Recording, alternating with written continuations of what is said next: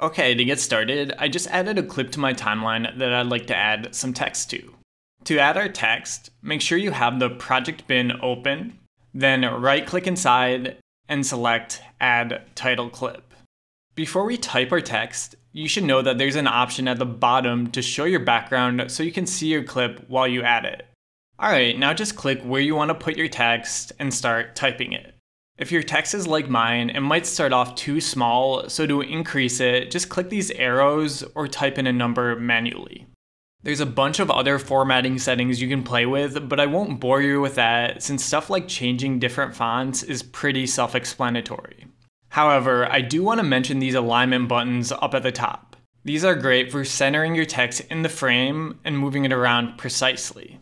To move your text freely, just click anywhere outside your text to deselect it, and then you can drag it to where you want to move it.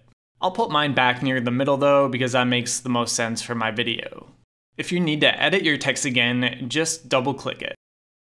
Once you're satisfied with your new text, just click Create Title. Doing this will add the clip to your project bin. Now you can drag it from the project bin under the track above your clip to add it to your video. To reposition your text clip, just drag it to where you wanted to start doing your video. And to change its duration, hover over the end of the clip and then drag it. Finally, we could fade our text in by hovering over the beginning corner of the text clip until we see this dot and then drag it to the right. Likewise, we can fade it out by dragging the red dot at the end of the clip. Alright, I think this looks good, so that's all from me. As always, thanks for watching and see you next time.